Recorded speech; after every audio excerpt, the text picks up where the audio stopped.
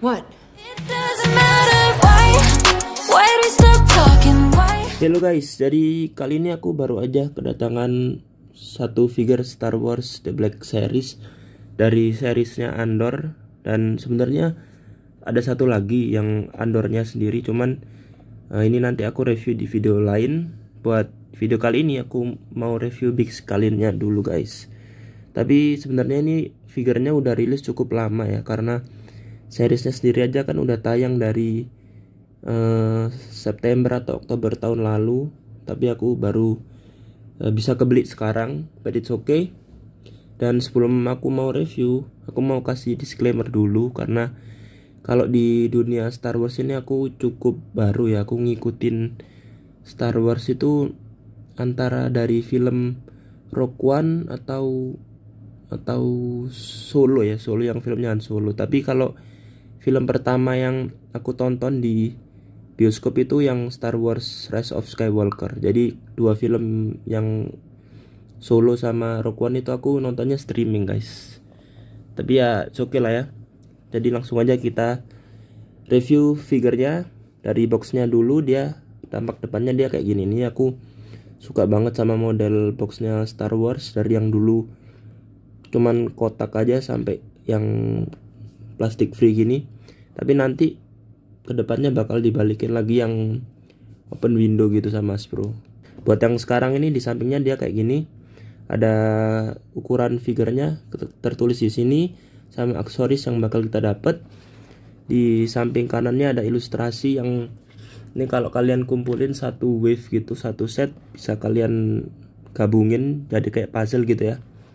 Dan di belakangnya ada foto figurnya lagi dan kalau kalian kurang familiar sama karakternya bisa dilihat dari sini sedikit backstorynya dan di bawahnya ada legal staff di bawahnya lagi ada legal staff juga so langsung aja kita buka figurnya Oke okay guys, jadi figure big sekalinya dia kayak gini.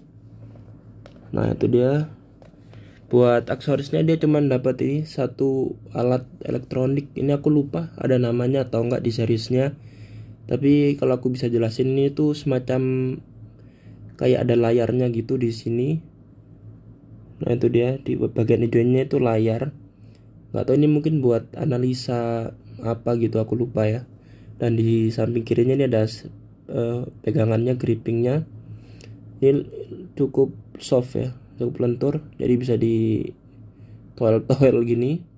Dan detail sculptingnya ini cakep banget guys. Di samping sampingnya nih ada kayak semacam mesinnya gitu mungkin. Terus ada tombol-tombol. Dan kerennya lagi nih bisa dicabut. Nah bisa dimainin gitu. Dan ini strapnya ini warna coklat muda. Nah, terus ada texturing kain gitu ya titik-titik kulit mungkin mungkin kalau bagian tengahnya ini kalian painting silver bakal lebih cakep ya. Karena ini harusnya kayaknya uh, stainless gitu atau besi ya di tengahnya sini. Terus di belakangnya tadi kayak gini detailnya ada kotak-kotak gitu. Dan bisa dipasang lagi terus dipakein ke big scalinnya di tangan gini. Nah buat menganalisa sesuatu ya guys. Nah ini. Terus tangannya ini kan sebenarnya mungkin ini tangan buat megang pistol tapi karena jari telunjuknya maju gini jadi bisa kalian pakai buat seakan-akan big sekalinya nih uh, neken-neken tombol gitu ya. Nah tuh lihat. Nah itu guys. Jadi kayak lagi neken-neken tombolnya ya dan buat head sculptnya guys ini menurut aku cukup mirip ya sama pemerannya si namanya Adria Arjona Arjona. Kalau tulisannya sih Arjona ya cuman kan kalau orang Latin-Latin gitu J dibaca H. Jadi mungkin Arjona atau mungkin Arjona juga ya. Buat yang tahu boleh tulis di kolom komentar. Ini kemiripannya menurut aku 80% lah ya sama aktrisnya. Cakep banget cuman sayangnya dia kayak berminyak gitu. Jadi paintingnya atau bahannya mungkin Hasbro pakai yang glossy gitu.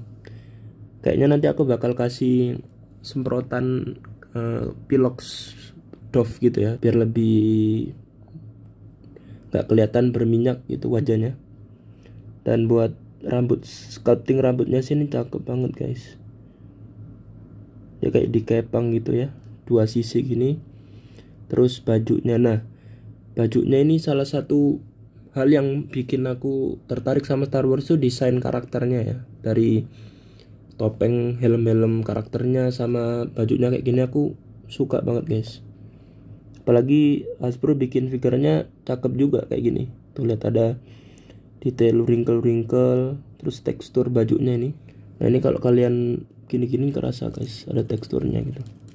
Nah ini garis gitu ya. Dan di tangan sininya juga ada. Cuman kalau di video kayaknya kurang kelihatan yang bagian tangan ini. Cuman kalau kalian pegang kerasa kok. Nah itu dia. Di belakangnya juga ada ya sama tekstur-tekstur wrinkle-wrinkle sampai di ini terusan rok bawahnya ini. Di kakinya juga ada bahkan kayak kulit guys. Kayak tekstur uh, celana kulit gitu sepatu kulit. Di sininya. Cakep banget guys. Terus sini ada sedikit warna gunmetal ya. Nah mungkin kalau yang strapnya nih dikasih warna gunmetal juga oke okay sih. Di sininya juga ada warna gunmetal dan di sini ada emblem. Kalau nggak salah ini logo tempatnya Ferrix tempat tinggalnya si Big Skalin sama Andor ini. Dan ini belakangnya keseluruhan dia kayak gini guys. Berikutnya buat artikulasi dari kepalanya dia cukup jauh jangkauan artikulasinya karena dia ada artikulasi di leher atas sama di leher bawah juga ada guys. Jadi buat untuk ke bawahnya lumayan jauh ya segini. Nah terus ke atasnya juga lumayan jauh dan dia bisa muter ke belakang 360 derajat bisa ke goyang-goyang ke kanan ke kiri juga lebih jauh dari Marvel Legends kebanyakan ya. Dan di tangannya dia bisa muter ke belakang 360 derajat.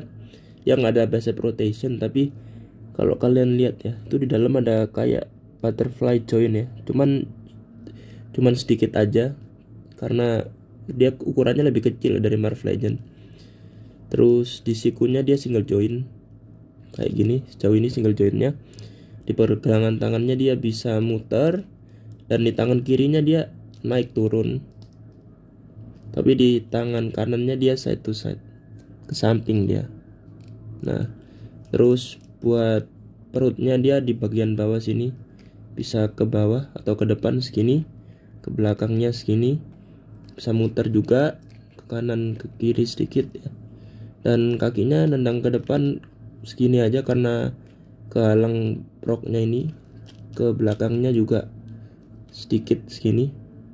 Terus dia di pahanya di pahanya dia ada ya. Di pahanya ada. Terus lututnya dia single joint. Single joint cuman segini aja. Tapi dia bisa diputar ini. Nah. Terus di pergelangan pergelangan kakinya bisa pivot pivot. Bisa ke belakang segini jauh ke depannya segini sedikit ya. Next buat size comparison di sini ada Black Series lainnya ada Ray dari Island Journey dan Andor yang bakal di reveal di video selanjutnya. Next ada figure Marvel Legends dari lini komik ada Wolverine, Daredevil, Invisible Woman dan Peter Parker. Dan yang terakhir ada tiga figure Marvel Legends dari lini MCU dari kiri ada Spider-Man dari No Way Home terus ada Eternal Sprite America Chavez dari Doctor Strange and Multiverse of Madness dan DC Multiverse The Flash.